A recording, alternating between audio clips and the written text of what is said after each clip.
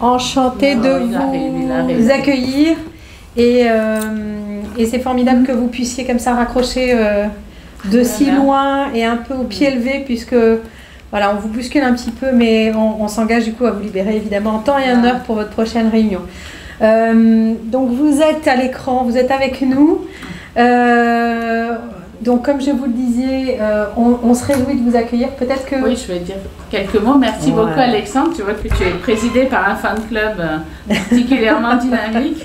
Et donc, euh, et merci beaucoup d'accepter de démarrer plus tôt pour être sûr, qu'on soit sûr que tu puisses.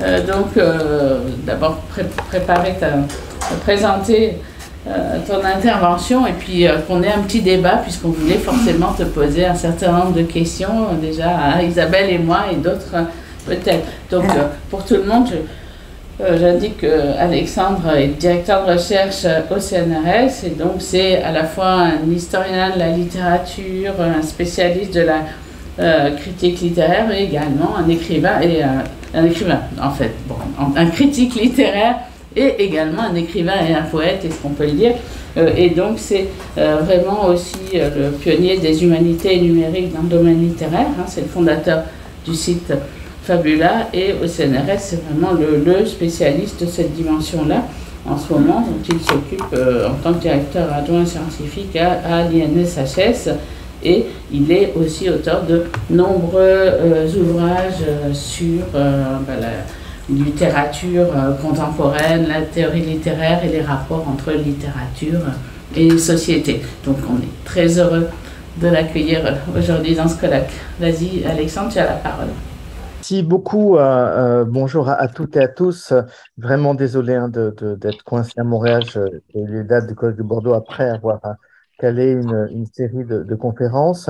Oui, je, voulais évoquer en fait de manière assez euh, concrète et, pragmatique euh, la question des rapports entre littérature et politique à travers une enquête que, que j'ai menée euh, l'année dernière et, qui est parue aux éditions de l'Observatoire il y a quelques mois avant les élections sous le titre La littérature est une affaire politique, puisque j'ai souhaité donner la parole aux écrivains eux-mêmes. J'en ai interviewé 26, euh, euh, correspondant à, de, toutes les générations littéraires, hein, de, l'aîné Annie Ernaux euh, jusqu'à la, pétroleuse Sandra Lucbert, jeune activiste.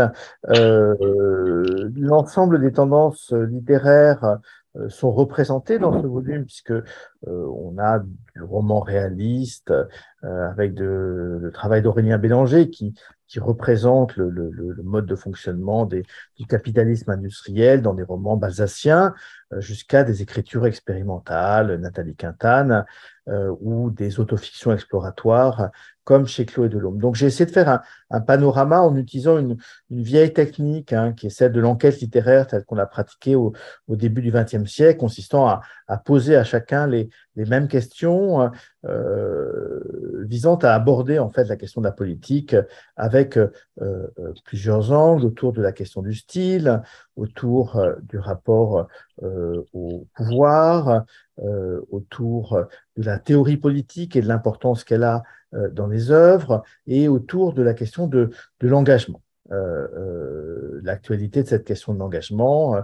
Est-ce que c'est encore une catégorie pertinente? Est-ce qu'il faut parler de plutôt d'implication, comme le propose Dominique Viard?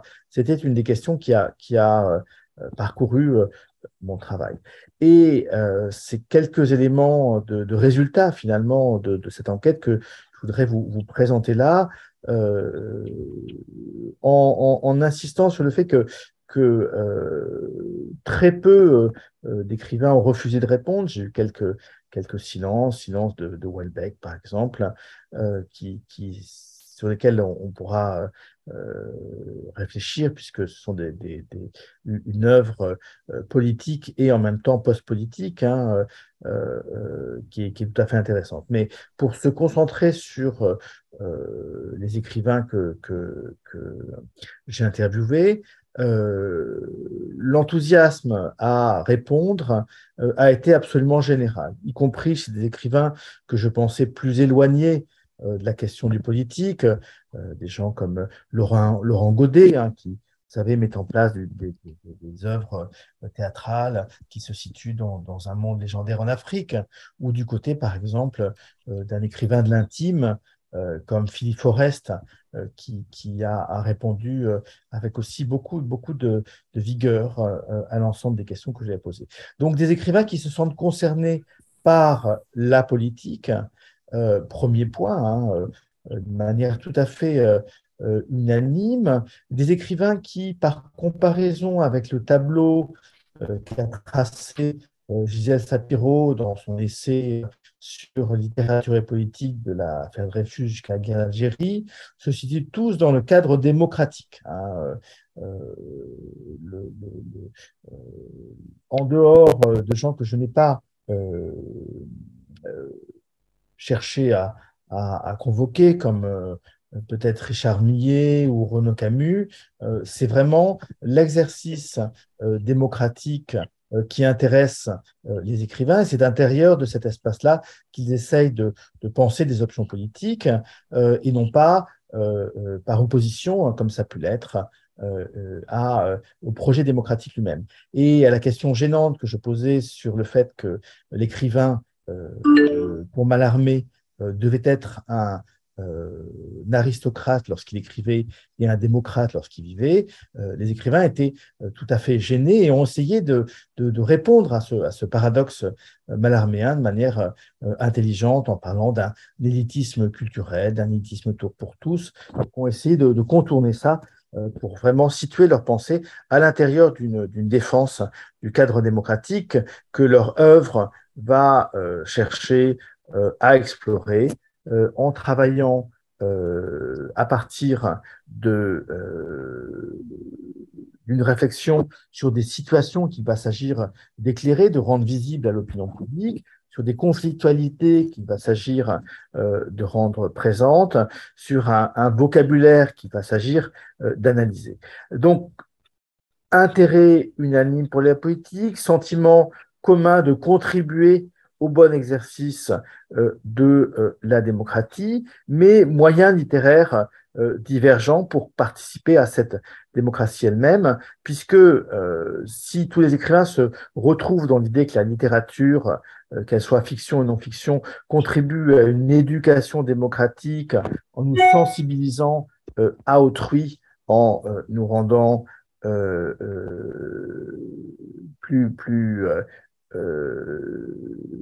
plus capable euh, de, saisir des formes de vie euh, marginales, douloureuses, invisibilisées, les œuvres littéraires, je le disais, vont tour à tour chercher à travailler le langage littéraire ou à se situer dans une description plus traditionnelle. deux choix qui sont tout à fait différents. Hein. Soit on va chercher à transformer euh, l'exercice euh, par les représentations. Hein. On va introduire de nouvelles représentations en montrant, par exemple, de l'intérieur comment fonctionne une grande entreprise, soit on va essayer de travailler le langage hein, et travailler euh, ce que Gisèle Sapiro appelle les, les cadres hein, de la perception qui sont euh, considérés comme eux-mêmes politiques.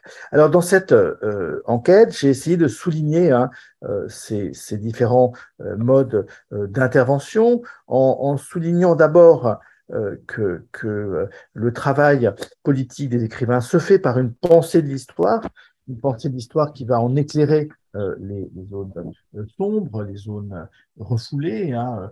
C'est le cas chez Laurent Binet, par exemple, ou chez Alice Zénitaire, pour qui euh, il s'agit de donner un récit commun hein, aux, Algériens euh, euh, rapatriés en France dans les années 60, ou essayer de, donner voix à ceci, comme le fait par exemple Jean Rouault, Camille de Toledo, autour des crises historiques hein, qui ont été la guerre de 14 ou pour Camille de Toledo, le, l'Allemagne communiste et le, et le, et le totalitarisme communiste. Cette dimension euh, historique est, est, une manière euh, finalement de travailler euh, notre compréhension de l'histoire, notre position par rapport au, au, passé, et elle participe pleinement d'une réflexion politique. Alors, autre élément évidemment central à une pensée politique par la littérature, une pensée, une action politique par la littérature, la réflexion sur le social. La réflexion sur le social, elle est absolument centrale. L'exemple finalement le plus connu, euh, c'est sans doute celui de, d'Annie hein, euh, qui, comme vous le savez, euh, essaye de penser le social dans une logique de réparation, de vengeance, elle dira je veux venger ma race avec beaucoup de force, mais une pensée du social qui va en éclairer des aspects peu connus. Et j'ai notamment un entretien avec Nicolas Mathieu, hein, prix Goncourt il y a trois ans, et dont on a dit que l'œuvre s'intéressant aux marginaux euh, euh, de la, des zones périurbaines des Vosges avaient euh, anticipé et permettaient de mieux penser la crise des Gilets jaunes. Alors, un autre, un autre aspect qui m'a intéressé dans cette action politique de la littérature, c'est bien une réflexion sur les hommes politiques, l'exercice du pouvoir lui-même, qu'on va retrouver chez des écrivains comme par exemple Karine Thuil, hein, qui, vont mettre en place euh, une représentation du, moment contemporain, ou Aurélien Bélanger qui mettra en scène euh, Sarkozy. Je ne suis pas sûr que ça soit euh, si central que ça à la réflexion politique contemporaine, mais c'est un thème qui, est couramment traversé par les écrivains. Alors, autre, autre élément, je disais, par lequel la littérature se, fait politique, c'est à travers le langage, parce que, comme le propose Mathieu Enhart, euh, faire entendre une pluralité de voix, c'est faire entendre euh, la complexité du corps social et son dialogisme interne. Hein, dans une perspective bactinienne, euh, je, fais entendre les, voix de la société et, leur, et brouhaha. je fais entendre à travers l'hétérogénéité des langues, le caractère multiculturel d'une société, avance Mathieu Enhart, ou, comme le propose Patrick Chamoiseau, je fais entendre les métissages dans la littérature. Donc ce travail du langage, il est absolument fondamental hein, pour des gens comme Nathalie Quintane ou Emmanuel Pirer ou Claude Delhomme. Hein, il s'agit hein, de répondre à une domination par le langage, à, cette, à ce fascisme du langage euh, que notait Barthes, à savoir le fait que le langage euh, s'impose à tous hein, par un, travail littéraire fait de l'intérieur et on ne peut pas imaginer une politique qui euh, n'interviendrait pas sur le langage. Et de ce point de vue, il existe un départ assez fort parmi les écrivains que j'ai rencontrés entre ceux pour qui le style est fortement marqué euh, euh, par une option politique opposant la droite et la gauche, et ceux pour qui la question du style est indifférente à la question du politique. Vous savez comme moi qu'un un essai euh, très influent de Vincent Berthelier essaye de, montrer que les stylistes sont de droite. Hein. Il se trouve que je vais débattre avec lui à, la radio dans quelques semaines sur cette question-là. Je crois que, cette hypothèse est, tout à fait contestable pour beaucoup d'écrivains positionnés à, gauche, comme Clé de euh, l'attention à la forme, euh, le fait de, transformer euh, la réalité ordinaire par la puissance de la forme et une, entreprise qui appartient à la gauche et non pas à la droite. Et, clairement, l'héritage de la réflexion de, Rancière sur la manière dont le, projet esthétique peut transformer des euh, euh, objets sans qualité peut leur redonner une noblesse et quelque chose qui traverse un nombre de, de, projets littéraires contemporains. et c'est par exemple le cas de Marie-Hélène Lafont, hein, qui aux, idéaux ruraux dans une perspective qui est, qui est celle d'un Pierre Michon, va essayer de leur redonner une dignité par le trait du langage. Évidemment, cette perspective est tout à fait opposée euh, à l'option stylistique une Annie Ernaux pour qui être rendre, rendre, rendre hommage à, ses parents, au milieu dont elle est issue, va passer par l'adoption d'une langue qui sera accessible. Hein. et clairement, un débat sur les moyens de transformation sociale par le style est, ouvert, qu'il s'agisse de proposer de transformer la langue de l'intérieur, qu'il s'agisse de proposer d'élever euh, les représentations euh, par un travail formel ou euh, plutôt, comme le propose Annie Ernaux, d'avoir un, style adéquat, compréhensible. Annie Ernaux écrit des textes qu'elle veut lisibles hein, par, par ses parents et par les gens dont elle est issue. Donc, vous voyez ce,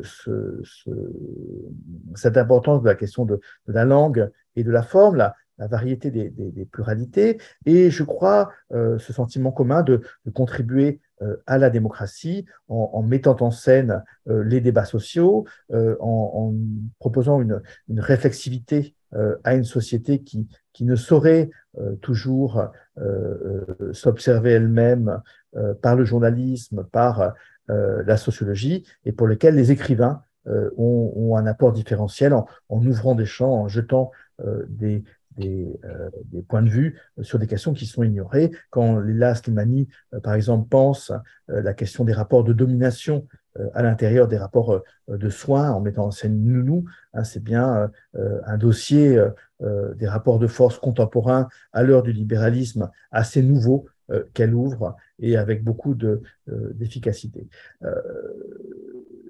je terminerai par quelques mots hein, sur euh, la question de, l'engagement et le, vieux projet de, transformation sociale euh, par la euh, littérature. Je crois que l'hypothèse que je fais est que la littérature se veut non seulement décrire le politique, le décrire rétrospectivement par l'histoire ou le décrire en décrivant une, une, société par un, projet réaliste, mais évidemment agir, agir politiquement, euh, par le travail des représentations et le langage, et que euh, de ce point de vue-là, si euh, ces écrivains renoncent et se démarquent clairement du rêve d'un grand soir et d'une écriture engagée, d'un roman à thèse, le rêve d'émancipation, le projet d'émancipation n'est pas indifférent à ces écrivains, projet social, hein, euh, euh, je, l'ai dit, on le retrouvera chez beaucoup, hein, chez nombreux de ces écrivains, mais aussi projets qui, sur euh, des thématiques plus contemporaines et plus originales, hein,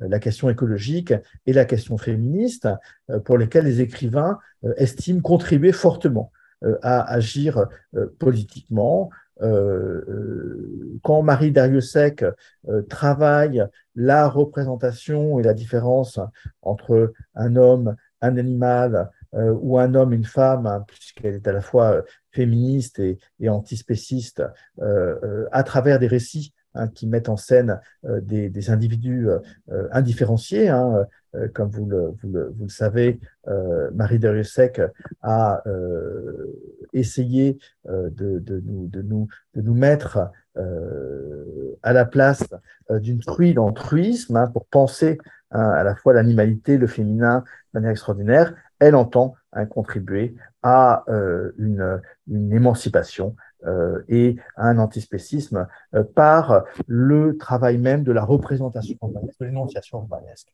Et ces questions du féminisme et de l'écologie sont extrêmement présentes. Ce sont peut-être deux, points sur lesquels les écrivains convergent et ont le sentiment qu'ils peuvent changer de, fortement les représentations hein, en, proposant euh, des représentations euh, euh, faisant écart et respectueuses des formes de vie, représentations qui s'accompagnent d'un vocabulaire, d'une manière d'être sensible à ces formes de vie originales, d'une de forme de, justesse aussi pour les décrire. Et c'est donc sur, ce, sur cette manière dont les écrivains vont, au fond, changer le monde sans passer par une prise de pouvoir, sans endoctriner, euh, euh, euh, simplement par un travail à l'intérieur de la démocratie consistant à en dévoiler les, contradictions, les zones obscures,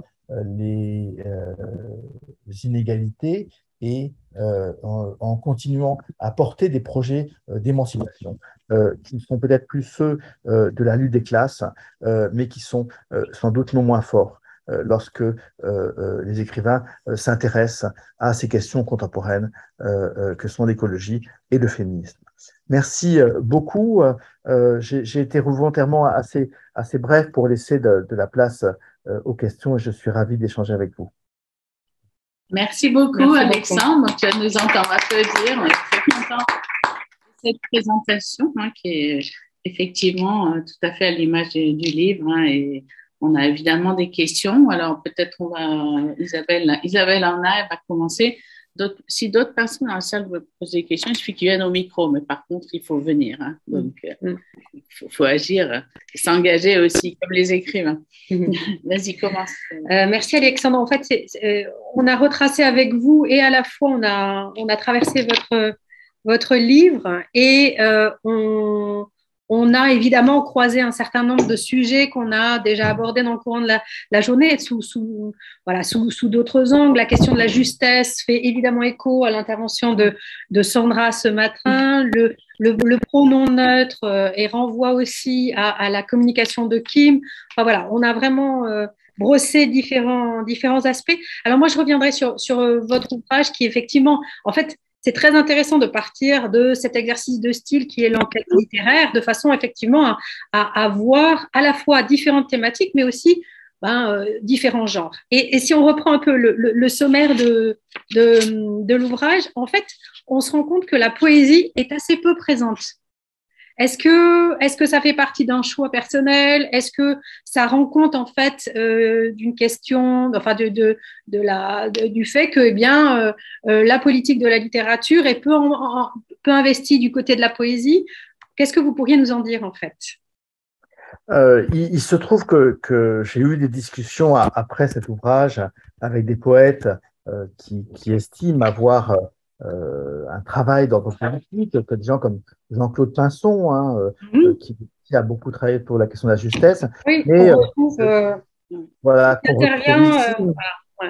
voilà, il trouve que spécialiste plutôt de la, de la, fiction et du roman, euh, j'ai d'abord eu comme interlocuteur euh, des romanciers, et c'est sans doute une limite de ce texte qui, qui, ne fait pas non plus beaucoup place à, ce grand lieu d'une politique euh, par la langue, euh, qui est le théâtre, hein, mm. qui, qui, qui, mériterait en fait un volume à soi. Un, un volume sur la poésie, sur le théâtre, euh, aurait tout à fait sens pour, pour réfléchir aujourd'hui au rapport entre littérature et politique.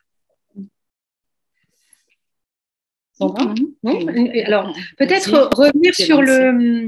J'évoquais ce matin en, introduction le, la position de Camille de, Toledo, qui est quand même très, très tranchée, qui, euh, qui bah, ne, au-delà du fait qu'il euh, ne dissocie pas politique et, poétique, il nous encourage même à penser en fait une réduction de ces deux champs à travers le terme de poétique. Euh, comment est-ce que vous entendez cette position? Alors, il est, très frappant que, les, euh, les, écrivains s'accordent à considérer que tout est politique. Hein. Euh, on, a clairement une manière dont la, politique déborde hein, simplement la question des rapports socio-économiques. Hein. Euh, pour les écrivains contemporains, tout est politique. Euh, et euh, ce terme de, de poétique, hein, est un terme qui est en fait plus, plus ancien, hein, qu'on retrouve chez Michel de Guy euh, et même chez, chez Philippe Jacotet, hein, et, et, repris, hein, poétique bien sûr avec un H, et repris fortement par Jean-Claude Pinson et euh, par Camille de Toledo euh, pour manifester ce que Barthes appelait en d'autres termes la, responsabilité de la forme hein, ou, la morale du travelling, si on veut être du côté de Godard et lui rendre hommage. Hein. donc clairement, la forme est politique, ce, vieux rêve barthésien, parce que la forme modifie nos cadres de représentation, notre manière de sentir, notre euh, rapport à, autrui est configuré par les, formes d'énonciation euh, euh, par lesquelles nous rapportons à autrui. Et, nous sommes éduqués à l'autre largement par, la littérature, je crois, par les mots que la littérature place sur les situations, autant que par les discours journalistiques et ambiants. Et c'est de ce point de vue-là que les écrivains entendent par une poétique agir. C'est en, modifiant, en, changeant de modalité énonciative, en, par exemple en jouant, euh, euh, pour, pour prendre un, texte euh, qui est paru, qui je ne l'ai pas interviewé dans, dans, mon, dans mon volume, mais, mais je, je, je regrette, hein, mais, mais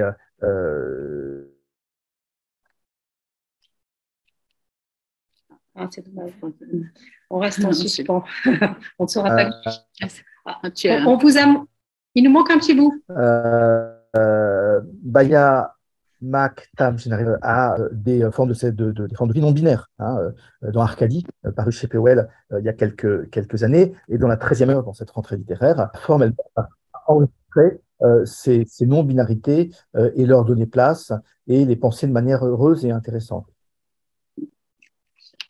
J'avais une petite question, hein, juste pour alterner, mhm. euh, puisque euh, bien sûr tu, tu récuses, enfin, et ces personnes avec qui tu t'entretiens récusent un modèle classique d'intellectuel engagé, comme ils vont réfuter euh, cette idée de, de, l'écrivain complètement dans sa tour d'ivoire et, et, non intervenant. Dans ce cas-là, c'est une double, voilà, c'est un double refus et effectivement, c'est vraiment à partir d'une expression et d'une analyse propre qu'ils vont s'engager dans le monde et, comme tu disais, agir. Donc, dans ce cas-là, de quel type d'action, hein, ça, ça rejoint la question qu'on discutait aujourd'hui, hein, de quel type d'action euh, euh, s'agit-il euh, en réalité? Alors, effectivement, c'est l'hypothèse de ce livre, hein, c'est une forme d'action, une forme d'action qui peut être intralittéraire ou qui peut être paralittéraire. Euh, intralittéraire par euh, ce que, ce que, ce que euh, tu as, tu as toi-même théorisé comme étant l'éducation sémantique, le, travail des formes de représentation, par ce travail plus traditionnellement sartrien de dévoilement, hein, de dévoilement de, zones sociales, les néo-ruraux chez, chez Magdalene Lafont, les, les, rapports de force dans les multinationales chez Eric Reinhardt, euh, les, rapports de force dans le Caire les Assimani, etc. Euh, mais aussi, euh, je crois qu'il ne faut pas oublier le, le, le, le, rôle que la littérature possède maintenant dans les socialités. Et, et, là aussi, lorsque l'écrivain va en résidence et qui travaille avec des, sans-emploi ou des, personnes âgées dans des EHPAD, on n'est pas dans le texte lui-même, mais on est dans une action aussi de, l'écrivain par, par, son corps, euh, euh dans, euh, des formes de reliaison sociale. On appelle souvent euh, l'écrivain pour faire du lien social. Et, et il ne faut pas oublier qu'une partie tout à fait considérable des écrivains ne, ne vivent pas de, des droits d'auteur de leurs œuvres, mais vivent de ces interventions dans les collèges, auprès de publics difficiles, dans des ateliers d'écriture. Et cette forme euh, est tout à fait considérable, comme l'est aussi les formes de démocratie euh, qui sont liées euh, au groupe de lecture, au groupe de lecture numérique, au groupe de lecture aussi qui, qui se font euh, pardonnez-moi, qui, qui, qui, se font physiquement. On a de très très nombreux. Il n'y a, a, pas, il n'y a pas euh, une ville sans, d'innombrables groupes de lecture. Et là encore, ce sont des exercices de, la démocratie, puisque euh, travailler ensemble le sens critique, euh, c'est clairement une manière de, de s'entraîner à la démocratie. Et sinon, une autre question au plan politique, tu relevais toi-même qu'il y a une relative homogénéité euh, de, des personnes, des, auteurs euh, Alors, interviewés ou pas effectivement. beaucoup d'écrivains de droite. Je, en fait, il y a assez peu d'écrivains de droite, même à l'Académie française. Il semblerait que pour des raisons qui, sur lesquelles on pourrait euh, s'étendre, les écrivains sont, sont associés à, à, la gauche, qu'ils soient des écrivains à succès ou des écrivains plus, plus marginaux, il semblerait qu'ils partagent des valeurs de gauche et, à quelques exceptions près, on n'a plus d'écrivains réactionnaires antidémocrates qui, qui, se revendiquent en, tant que tels, où il y en a euh, pratiquement plus, hein, je crois. Donc même, euh, même, des écrivains, même des écrivains qui refuseraient d'être engagés, en fait, euh, qui ne seraient pas de ce modèle Oui, des écrivains sur la tour d'ivoire qui cultivent effectivement leur écart, il y en a encore, mais, mais pour vivre, ils sont bien obligés de faire justement ces, ces résidences, ces invitations, ces socialités, ces festivals littéraires, ces rencontres avec les lecteurs, et il devient très difficile de rester sur sa tour d'ivoire. Mais c'est vrai que c'est une question, malgré tout, cette homogénéité euh, qu'on a aussi dans beaucoup de formes culturelles. Hein. Si tu prends des, euh, auteurs de cinéma ou de séries, c'est la même chose, ils auront tous en fait vision. Là, mais du coup, est-ce qu'il y a un décalage par rapport à aussi une bonne part de la, de la société réelle dans ces, dans opinions politiques, qui n'est pas unanimement. Voilà, Peut-être, peut-être. Effectivement, on a besoin de Welbeck pour faire entendre hein, la partie euh, considérable des Français qui ont, qui ont voté pour Marine Le Pen, oui. oui, oui, très bien. Euh, Est-ce que alors peut-être qu'il y aurait des questions Parce que sinon, on peut. Ah, oui. bah, viens, viens là. là. alors, c'est Philippe Sabot qui a une question. Alors, tu ne vas pas le. Ah oui, je, pas, je, je tente de faire on va un... essayer de... une légère rotation. Bonjour Alexandre. Voilà. Euh, oui, bonjour. J'avais deux, deux, questions, dont l'une est en fait plus une, sorte de provocation, c'est-à-dire que euh, le titre, la, littérature est une affaire politique. Euh, Il y a un problème de connexion là. Je, n'ai pas ah. entendu, Philippe, le début de, ta question. La connexion est instable. Oui, alors voilà, en forme de provocation, une, première question sur le, le, titre La littérature est une affaire politique si on, si on trouvait comme, euh, si on menait une autre enquête finalement qui était euh, la philosophie est-elle une affaire politique? Euh, Alors, on, interrogerait un certain nombre de philosophes contemporains, on, aurait une sorte d'évidence dans la, dans la réponse. oui, la philosophie est une affaire politique. On se demanderait aussi en quel sens euh, exactement, euh, peut-être pas par ses objets, mais par euh, sa manière de faire. Donc on retrouverait des, questionnements identiques. Mais dans le même temps, il y a aussi, on va dire, une, tension autour de ce genre de proposition, la philosophie d'une affaire politique. On l'a vu récemment. Bah, ça serait peut-être moins évident. En tout cas, c'est l'impression que j'ai, ce serait peut-être moins évident de, faire répondre à cette question des, philosophes contemporains. Euh, euh, bon, voilà, je vais avoir ton avis, même si euh, là, je, bascule du côté de la philosophie. Mais voilà, et la, deuxième petite question, c'est, en t'entendant présenter l'enquête et en, réfléchissant aussi à ce que tu as, dit à la fin, finalement, le, focus porte beaucoup sur euh, la question sociale. Alors, dans ces enjeux politiques, euh, parler de cet espace démocratique partagé finalement, euh, et j'avais l'impression que euh, la question écologique notamment restait une question un petit peu comme, comme, un horizon, mais n'était pas au centre de, de cette politique des écrivains, si on peut l'appeler comme ça. Donc, je voulais savoir si c'est une enquête à, reproduire à différents moments de notre histoire pour euh, peut-être voir s'il y a des évolutions, et notamment sur cette question du, social et de l'écologique, dont, les sorts sont liés, mais euh, qui n'apparaissent pas liés, disons, dans, la restitution que tu donnes de, l'enquête euh, à l'instant. Voilà, merci. Oui, alors effectivement, première question, est-ce que les philosophes se sentiraient aussi euh, euh, des acteurs politiques euh, que, que, les écrivains? C'est une question intéressante. il se trouve que, que la,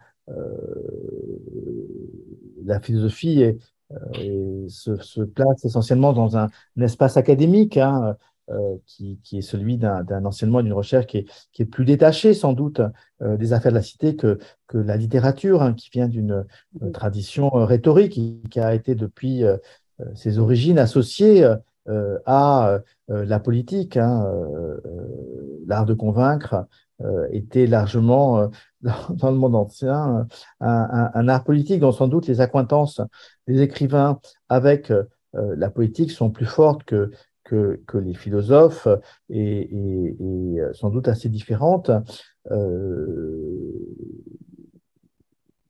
Deuxième question, effectivement, sur le fait que ces questions écologiques dont je rappelle l'importance ne soient pas suffisamment représentées par, euh, euh, par ce volume, c'est euh, sans doute assez juste. Et je me suis aperçu simplement de, de, leur importance après un centre d'entretien. il était trop tard pour changer mon questionnaire. Hein, et, donc, j'en témoigne oralement avec vous à, titre de, regret. mais effectivement, une nouvelle enquête pourrait être menée hein, sur les engagements écologiques euh, des écrivains contemporains. Et, je pense que, euh, la rentrée littéraire euh, contemporaine l'a montré, ils sont loin d'être anodins. Merci. Quelqu'un d'autre? Sinon, on reprend le crachoir, il n'y a pas de problème. Est-ce que quelqu'un d'autre a, une question dans la salle? D'accord, peut-être tu vas ajouter quelque Alors peut-être juste pour un prolongement de la, la, question de, de, Philippe sur la, la dimension écologique, euh, on évoquait ce matin l'importance, Sandra a évoqué ce matin l'importance de l'anthropologie en fait. Mm. Euh, pour travailler la question de l'attention aux détails, euh, de l'enquête. Euh, et ce qui est intéressant, c'est que les anthropologues sont aussi allés vers la littérature pour euh, réinvestir la question de la politique, en fait. Hein. Donc, c'est très intéressant de voir cette porosité entre euh, bah, philosophie, anthropologie et, littérature, comme si euh, la littérature était le terrain premier vers lequel on se tournait, en définitive, peut-être, je mm. dirais, pour faire entendre voilà, une, autre voix. Mais, mais, donc, une question à venir, enfin, un ouvrage à venir. Euh, oui, Eric. Eric Benoît.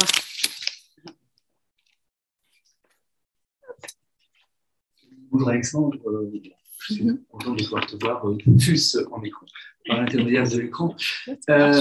une question, une question à, laquelle, en la formulant, des peut-être de réponses me viennent l'instant et peut-être tu pourras réagir à partir de ça. Question qui m'est venue à partir de bon, l'idée qui nous arrive hein, de dire, à savoir que euh, le langage de la littérature, il est là pour exprimer par rapport à celui de la philosophie, c'est une question qu'on a posée ce matin, le langage de la littérature par rapport à celui de la philosophie, il est là pour exprimer ce qui échappe au concept, hein, ce qui ne peut pas être euh, conceptualisable. Euh, alors, je, me suis posé un petit peu la même question concernant les rapports entre littérature et politique. Je me suis dit, qu'est-ce qui, dans l'action politique de la littérature, exprime ce qui échappe au discours politique J'essaie de poser la même question dans les rapports littérature politique par rapport euh, euh, au rapport littérature philosophique. Qu'est-ce qui, dans, euh, dans le mode de discours, dans le contenu même du discours de la littérature, échappe à ce que peut dire ou faire le discours politique. En quoi la littérature peut commencer là où bah, le discours politique est dans une espèce d'aporie. Tu vois, on peut dire que la littérature commence là où la le langage de la philosophie mm. est en aporie, là pour dépasser quelque chose. Alors, en formulant la question, ben, je commençais à, formuler quelques réponses. Je me suis dit, euh, en fait, le discours de la littérature, contrairement au discours politique, n'est pas un discours de, conquête du pouvoir, n'est pas un discours de domination. Euh, et euh, voilà, donc c'est peut-être ce, cette, entrée dans la réponse à partir de laquelle tu pourrais parler, comme s'il y avait une, espèce dans le discours de, la littérature de, retrait par rapport à la, prise de pouvoir, par rapport à, une velléité euh, de, domination. Si on, employait un, terme de théologie, on dirait une espèce de kénose, de, de, retrait, de mise en retrait. alors, est-ce que, ce que je suis en train de, de balbutier là, de commencer de dire, est-ce que tu as rencontré un petit peu cela parmi les écrivains que tu as eu l'occasion d'interroger? Et il me semble que oui, le, le, fait que finalement, parmi les écrivains, il n'y ait pas véritablement d'hommes politiques, d'hommes qui tiennent un discours de conquête du, de, pouvoir. Tu as dit à l'instant, pour vivre, bah, les écrivains ils sont bien obligés euh, d'aller euh, euh, parler dans les collèges, les lycées, et donc voilà, ils ne sont pas du côté des possédants, ils ne sont pas du côté de la domination, ils ne sont pas du côté du pouvoir politique effectif. voilà, j'aimerais que tu réagisses un petit peu à partir.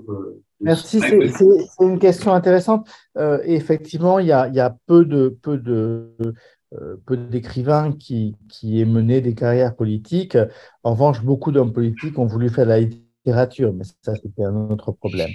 Euh, en fait, une partie de la, réponse à ta question se trouve euh, dans la, la, réaction des écrivains euh, lorsque je leur ai fait entendre cette phrase de Stendhal euh, expliquant que la politique dans la littérature, euh, ça serait comme euh, des coups de feu au milieu d'un concert. Et je leur ai demandé de réagir. Est-ce que l'exposition directe d'idées de, de, slogans, de propositions, de, de concepts politiques serait acceptable en littérature?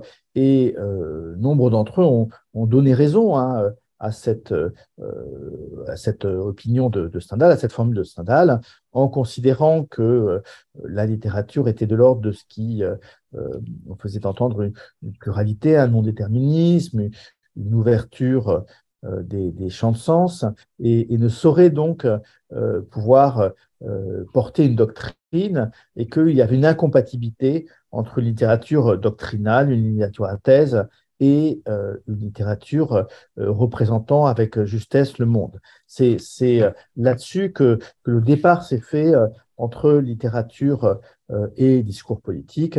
Et je crois que de ce point de vue-là, les, les, écrivains sont, sont, très, très fermement attachés à une littérature qui, qui ne soit pas celle d'un d'un roman à thèse, d'une prise de parole idéologique, euh, d'une conceptualisation euh, très, très appuyée, euh, mais, mais pas s'entendre une, une, réflexivité, un rapport d'attention multiple euh, aux, aux, sensibilités. Et même les écrivains de, de gauche, hein, quelqu'un comme Arnaud Bertina que j'ai que j'ai que j'ai interviewé, euh, par exemple, lorsque dans des châteaux qui brûlent, il met en scène une usine occupée euh, par des ouvriers, et, et, on sent qu'il est clairement du côté hein, des ouvriers qu'il a interviewé dans d'autres circonstances. Il fait aussi entendre la, la, sensibilité du porte-parole du ministère et euh, des CRS qui doivent déloger euh, les, ouvriers en expliquant que effectivement euh, ils devaient conserver une justesse d'équilibre dans, les points de vue et, que sinon il aurait versé dans un, dans un roman à thèse, il aurait fait entendre ces, ces coups de feu dans le concert qu'auraient été les, doctrines politiques dans un roman. Merci beaucoup. On a encore une dernière question pour toi, Alexandre. Ah non, non je crois pas. Non, non, Heureusement, parce que tu dois. Euh, de toute façon, on est tous euh, sur un agenda assez, assez merci. Donc, il nous reste vraiment de remercier. Oui, merci mille fois, euh, Alexandre. De... Pas mes, mes, mes salutations de Et je vous dis à bientôt alors.